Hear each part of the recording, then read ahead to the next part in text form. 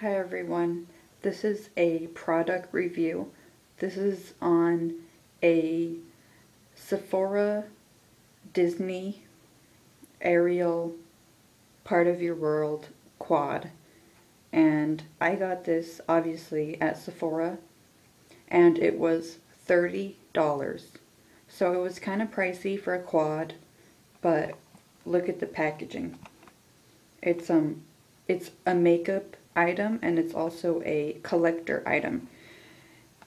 If you can't see, there are shells around the whole perimeter of the box. There are shells. There's Ariel right there. There's a shell behind her, a big clam shell. It says Ariel with the kind of rainbow sunset behind it. And there's Sebastian right there. And there's just a lot of really beautiful art going on.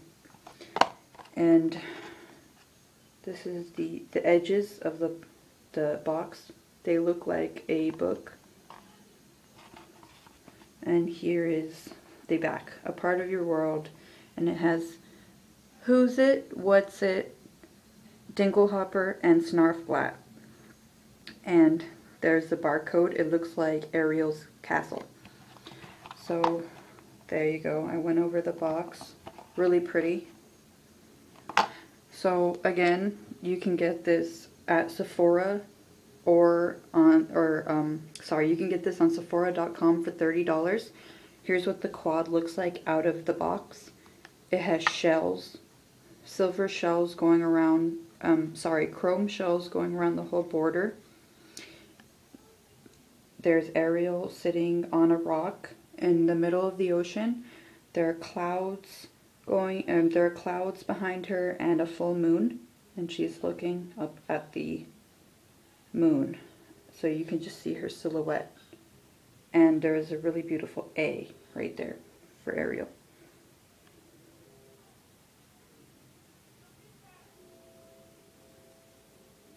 So that's really beautiful. And it just says, a part of your world eyeshadow palette there are, the net weight is four eyeshadows at, um, oh, altogether I think it's 1.4 grams. I don't know. Anyways, let's just open it up.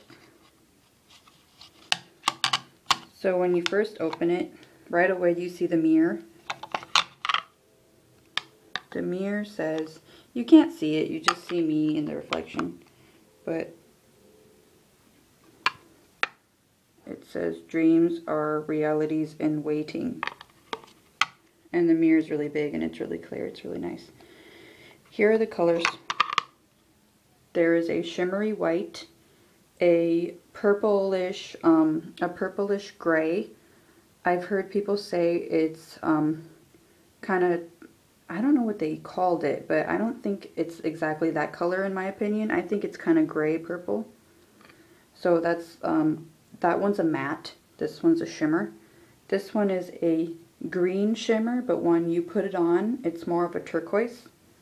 And this is a purple with glitter in it. Blue and purple glitters.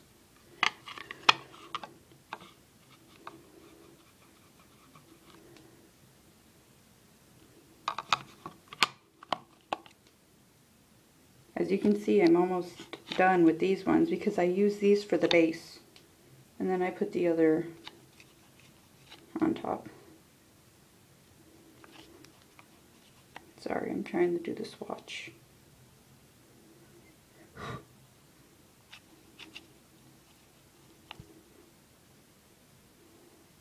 I really like all the colors. Okay, I'm zooming in right now on the um, this is the white base highlighter kind of color. You can also use it all over the lid, but I like to use it for base or highlighting. It's white with shimmer. It's kind of like a pearly white. Here, you can't see it, but this is the gray purple color. This is the green. Oh my gosh, look at that green. It's gorgeous. I told you it's not green. It's a shimmery mermaid tail kind of turquoise, like a blue-green. Oh, it's so beautiful. I think that one and the purple are my favorite. The only problem I have with the purple, with the blue and um, green shimmer, is that it's very, very ashy. You can see that it has a lot of fallout. So all of these eyeshadows are excellent, excellent quality, except for the purple. The purple, ooh, look at this. The purple is just very ashy. There's a lot of fallout with the purple. So yeah, but I am really enjoying this. I don't use this for every day. I use this on special occasions. So I found that it is really lasting me a long time.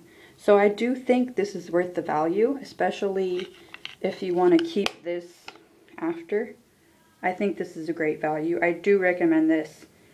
And I'm kind of tight, like when it comes to money, it's really hard for me to spend money on things. But I think I actually think this is a good value. It took me a long time to reach the pan and the eyeshadow. Um, took me a long time to hit pan. So I think it's a good value and it's very beautiful. And unlike the storybook or the story look, you can keep this. It's not like cardboard. So thank you very much for watching. I hope this was somewhat helpful. Take care.